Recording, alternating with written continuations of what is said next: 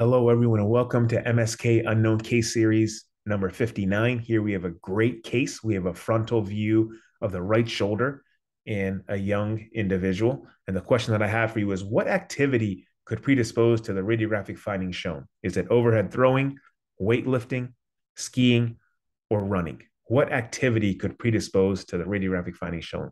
So here we obviously have, if you take a look at the distal clavicle, notice that it almost looks like a rat ate out a piece of the subchondral bone here. We have distal clavicular osteolysis or resorption of bone. And of course, this is seen in post-traumatic cases like that seen in weightlifting. So weightlifting is the best answer, particularly those who bench press and do heavy bench pressing. Overhead throwing is a risk factor for slap tears, superior labral, anterior, posterior labral tears in the shoulder. Skiing can be a risk factor for many things, but often ACL injuries uh, in the knee and running, of course, is a major risk factor for stress fractures, but distal clavicular resorption is often seen in weightlifters. And what we see here is on the radiograph, we see, you know, loss of bone along the distal clavicle here, right? So it almost looks like a rat ate out a piece of the bone here. And if we turn to the MRI, we notice that there's bone marrow edema along the distal clavicle. There's a little bit of subperiosteal edema as well. And the bone looks a little ill-defined along the subchondral plate, right? So distal clavicular resorption. There is a differential diagnosis for distal clavicular resorption.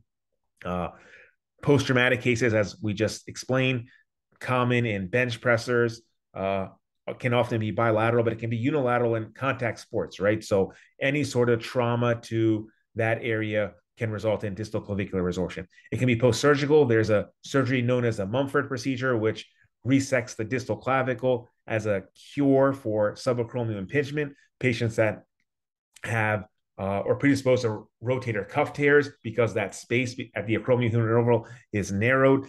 We want to open up that space and decompress it, and we do that often with a Mumford procedure.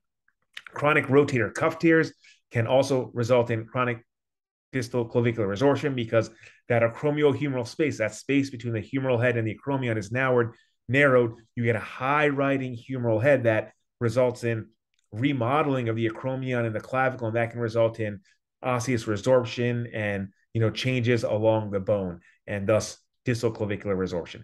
Often older patients that have had rotator cuff tears for a very long time.